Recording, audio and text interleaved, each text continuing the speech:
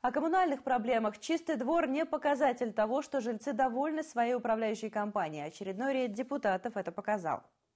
Во дворе дома по Кольскому проспекту все блестит. Ни пылинки, ни соринки. Столь благоприятная картина радует проверяющих рейда по качеству содержания придомовых территорий.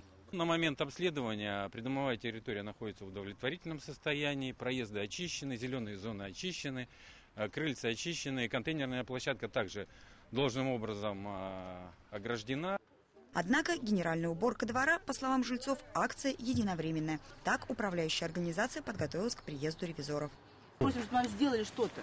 Я говорю, я очень хочу, чтобы генеральный директор нашей управляющей компании вот сам приехал, прокатился до горки. Смотрите, ваша территория довольно довольно-таки Простите, они сегодня утром ее убрали. Сегодня детская площадка, вот мы посмотрели, да. Хотелось бы, конечно, новую, но, по крайней мере, она чистая, ухоженная. И вот э, с жильцами мы разговаривали сегодня, постараемся что-нибудь помочь, воздействовать на управляющую компанию, чтобы они все-таки вернули качели, которые они увезли в ремонт.